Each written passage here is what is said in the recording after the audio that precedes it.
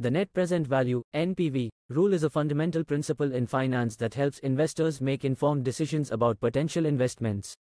It emphasizes the time value of money by calculating the present value of all future cash flows, discounted at a specific rate of return. By using the NPV formula, investors can determine the net monetary gain or loss of an investment in today's dollars. To apply the NPV rule, investors must project cash flows, choose a discount rate, and calculate the NPV. A positive NPV indicates a potentially profitable investment, while a negative NPV suggests a potential loss. A zero NPV means the investment breaks even.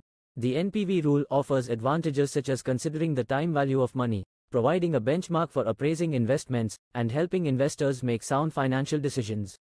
By understanding and applying the NPV rule, investors can assess the profitability and feasibility of potential investments, ultimately empowering them to make wise investment choices.